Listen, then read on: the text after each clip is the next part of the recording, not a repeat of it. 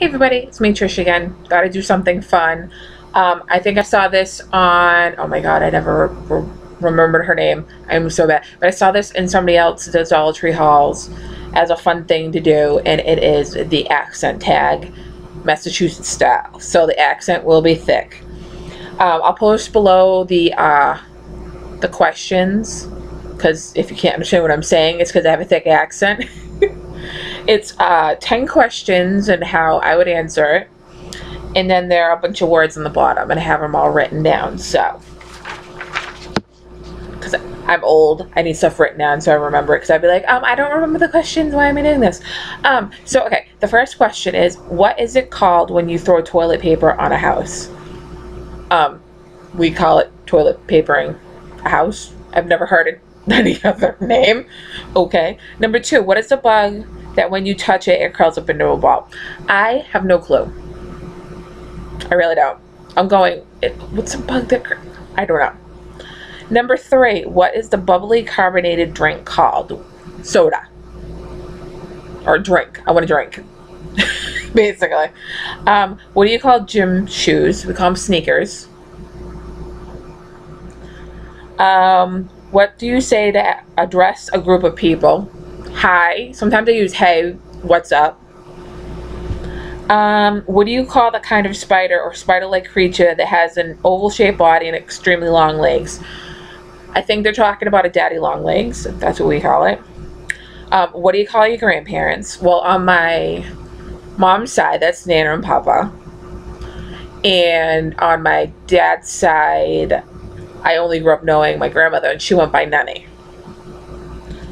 Um, number eight, what do you call the wheeled contraption in which you carry groceries at the supermarket? We call it a cart.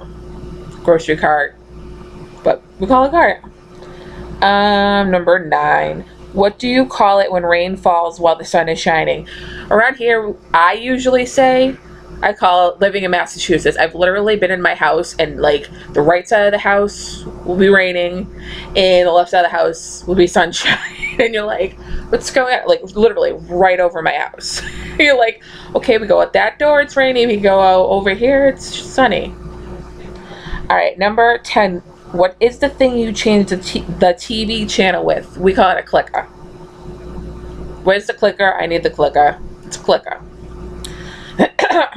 now the words are at a U N T at roof R O F so you know what I'm talking about root wash oil theater iron salmon caramel fire water sure data ruin crayon, New Orleans.